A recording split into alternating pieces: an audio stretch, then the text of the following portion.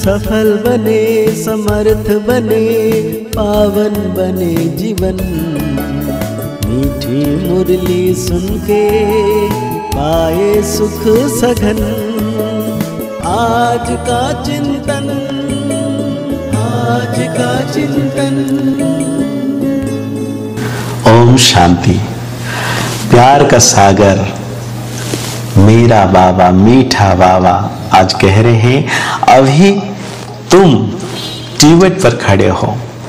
एक तरफ़ है दुख धाम दूसरी तरफ़ है शांति धाम और तीसरी तरफ़ है सुख धाम अब जज करो हमें किधर जाना है। तो बाबा कहते हैं, जज करो कहाँ जाना है। हाँ दुख धाम या शांति धाम या सुख धाम नहीं दुख धाम से जाना है शांति धाम और शांति धाम से फिर आना है सुख धाम बाबा पूछ रहे हम बच्चों को किस निश्चय के आधार पर तुम बच्चे सदा हर्षित रह सकते हो? कौन सा निश्चय होना चाहिए? सबसे पहला निश्चय चाहिए कि हम किसके बने हैं। बाप का बनने में कोई वेद शास्त्र आदि पुस्तक पढ़ने की दरकार नहीं है।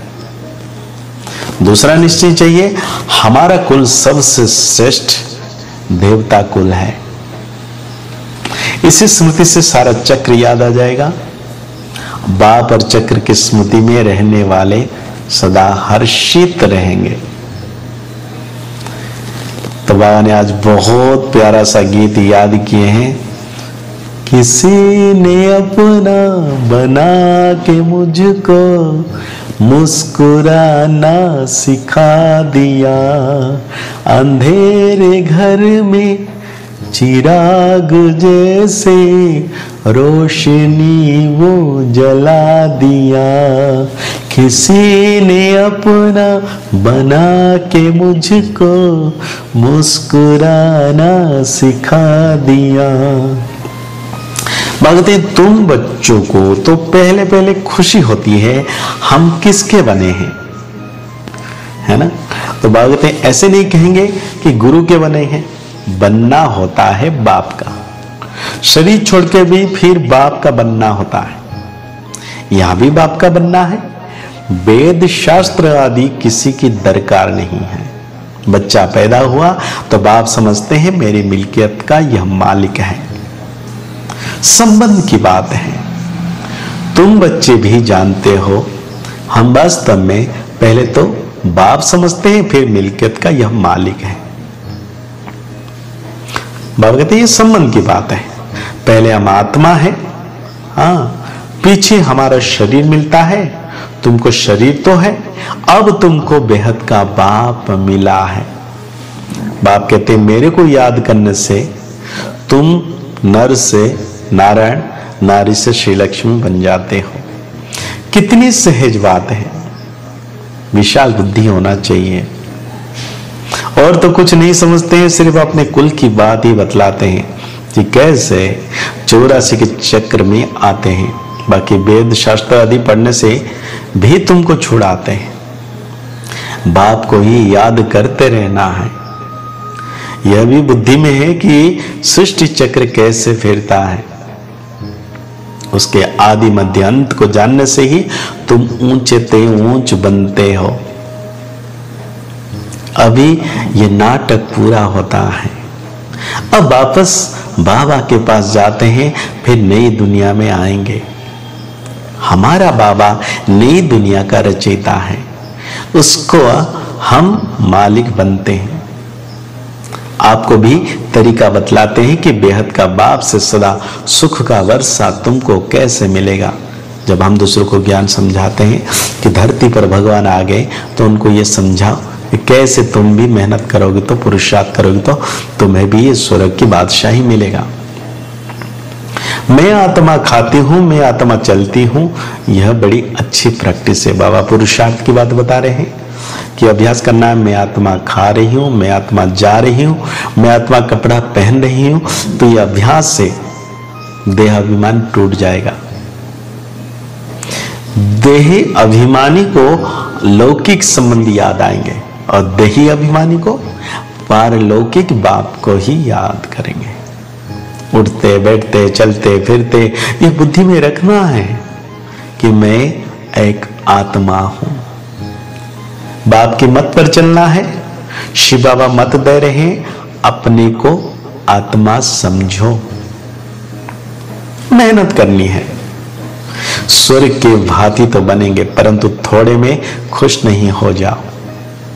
भल स्वर्ग में तो जाएँगे, परंतु पक्के मातले बनो। मातले उनको कहा जाता है, जो बाप दादा को याद करते दूसरा को याद पड़ता तो सौतले हो जाते हैं। तो बाबा कितना प्यार से याद करना चाहिए। बगते दुख की गली से निकाल बाबा ने ट्यूबवेल पर खड़ा किया है। दुखधाम की गली से तो तुम जन्म जन्मांतर पास करते आए अब बुद्धि कहती है मुक्ति, जीवन मुक्ति में जाए। मुक्ति धाम में तो सदैव के लिए बैठना नहीं है।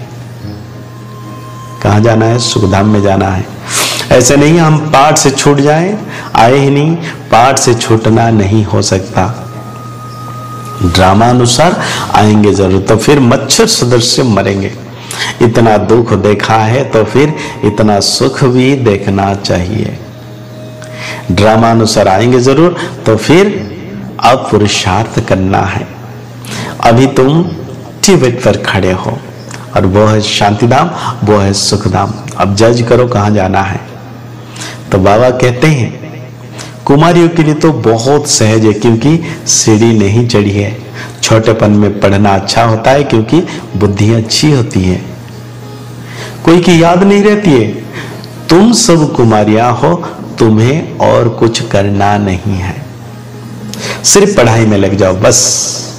बेड़ा पार है। यह बातें बेहद का बाप ही समझाते हैं, फिर हमको स्वर्ग का मालिक बनाते हैं। चित्र भी है, हमको ऐसा करना है। बाप कहते हैं, इस पढ़ाई से तुम सो, देवता बनेंगे। अब यह खेल पूरा होना है। मनुष्य घोर अंधियारे में पड़े हैं। अब तुम सोजरे में हो। तो आज की मुरली से, बाबा की बातों को लेके, जैसे बाबा कहते हैं, बाप आए हैं नरक को विनाश कर स्वर्ग की स्थापना करने। हम आपको भी राय देते हैं, श्री श्री से मिली हुई श्रीमत हम आपको भी देते हैं। बाप कहते हैं, मुझे याद करो। तो स्वर्ग का मालिक बनेंगे। तो इन सब बातों को सोचते हुए जीवन में धारण करने की बातें हैं। सर्विस का शौक रखना है। मतलब ज्ञान सुनाने का कि धरती पर भगवान आए हैं। बीमारी में भी बाप की याद में रहना, अगर बीमारी तबीयत ठीक नहीं है, तभी बाबा को याद करना है। बाबा कहते हैं, दूसरों को भी याद दिलाना है, मुख से ज्ञान दान करते रहना है। पक्का मातेले बनना है, अर्थात एक बाप की ही याद में रहना है। सवेरे सवेरे उठ, विचार सागर मंथन करना है। दूसरा कोई भी याद ना आए। तो आज बाबा से वरदान लेना है, अपनी शुभ और शक्तिशाली भावनाओं द्वारा विश्व परिवर्तन करने वाले विश्व कल्याणकारी भव। आप बच्चों के मन में सदा यही शुभ भावना है कि सर्व का कल्याण हो। हर आत्मा अनेक जन्म सुखी हो जाए, प्राप्तियों से संपन्न हो जाए आपकी इस शुभ और शक्तिशाली भावना का फल विश्व की आत्माओं को परिवर्तन कर रहा है। कितनी बड़ी बात है। आगे चल प्रकृति सहित परिवर्तन हो जाएगा, क्योंकि आप संगम की श्रेष्ठ आत्माओं को ड्रामा अनुसार प्रत्यक्ष फल प्राप्त होने का वरदान है। इसीलिए जो भी आत्माएँ आपके संबंध संपर्क में आती है वो उसी समय शांति व स्नेह के फल की अनुभूति करती है। तो आज बाबा से स्लोगान ले लेना है, जो दिन भर अभ्यास करना है, त्रिकाल दृष्टि स्थिति में स्थित होकर निर्णय करो तो हर कर्म में सफलता प्राप्ति होगी। त्रिकालदर्शी तीनों कालों का तो आज के मुरली के अनुसार हम सो मान लेंगे। मैं विश्व कल्याणकारी सदा हितकारी आत्मा। मुरली को और गहरी रीति से चिंतन करते हैं, निरंतर बाबा की याद में रहना है कि सर्वशक्तिवान बाबा सदा मेरे साथ है, मेरे मस्तक के ऊपर। एक फुट की दूरी पर 24 घंटे चमक रहे हैं, उनकी किरणें पड़ रही है। चलते फिरते, उड़ते फिरते अनुभव करना है कि बाबा सदा मेरे साथ ही साथ है। मुस्कुराते रहिए, आगे बढ़ते रहिए, पुरुषार्थ करते रहिए। खुश रहें, स्वस्थ रहें, मस्त रहें। ओम शांति ओम शांति ओम शांति